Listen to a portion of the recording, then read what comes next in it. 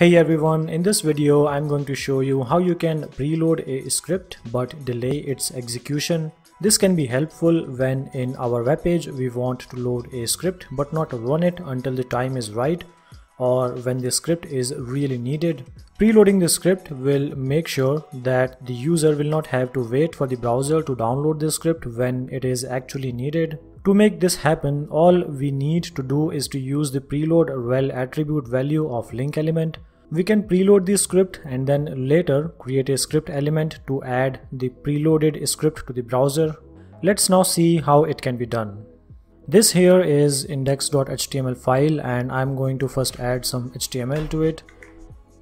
And then we need to create a script file let's just call it script.js and I'm also going to add some code to it to log a message to the console to indicate that the script has been loaded and then to load the script from the index.html page all we need to do is create a script element and then in the src attributes value we need to provide its name which is script.js and now let's First run this page to see if the message is being printed or not. So this is the web page running in the browser and the script loaded message is being printed in the console. So over here the script is being executed immediately after it has been loaded by the browser.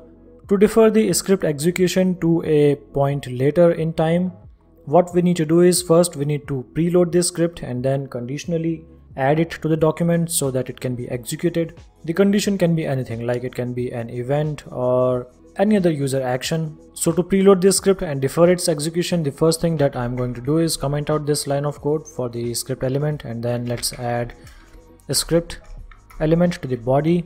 And now the first thing which we need to do is to create a link element. So var link el equals to document dot create element and now let's just provide the name of the element which is link. And now we need to set some attribute values. So link el dot href. So href is the um, the url of the script. So this is going to be script.js and link el dot we need to set the as attribute or as properties value. This is going to be script. We need to set this properties value because we are preloading this script. And whenever we are preloading any resource using the link element then we need to provide the value of as attribute for the browser so that it can figure out the prioritization queue of all the resources which are being preloaded.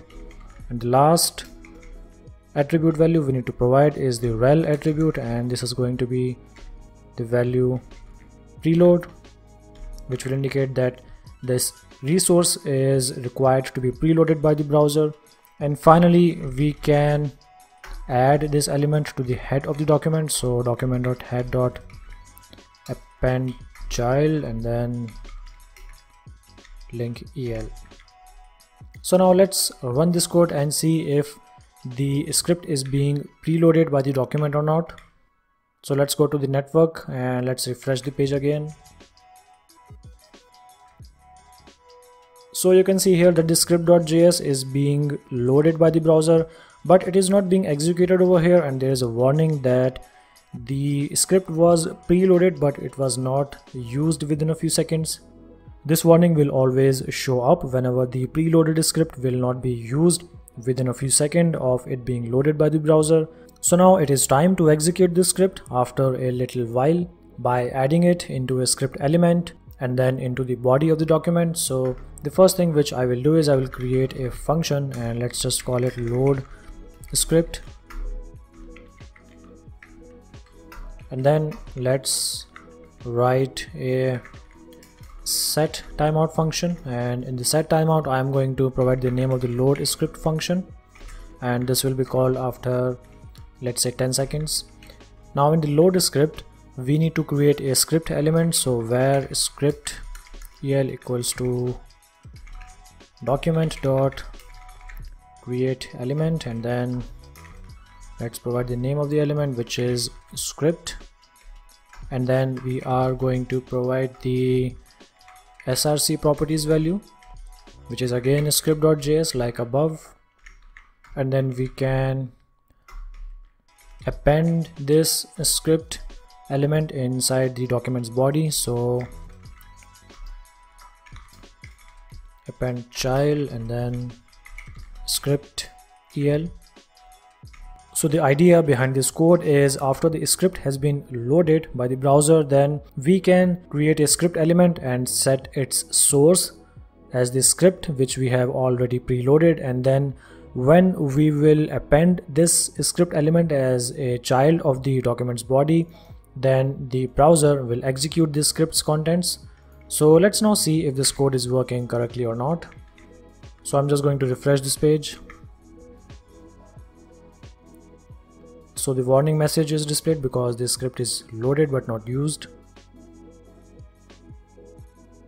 And then there is the message script loaded after a few seconds.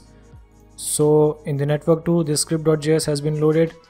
So now you can see that the script is being loaded but its execution has been deferred to a point in the future and that is how you can defer a script's execution to a point later in time using the preload feature of the browser. So that's all that this video has to offer you guys. If you have any questions then feel free to use the comments area to ask them and also if you think that you like this video and you find this helpful for you then please don't be shy and place a like on this video and also subscribe to this channel. Doing that will make sure that you will always be the first to know about latest video updates. I will see you in the next one. Till then have a great day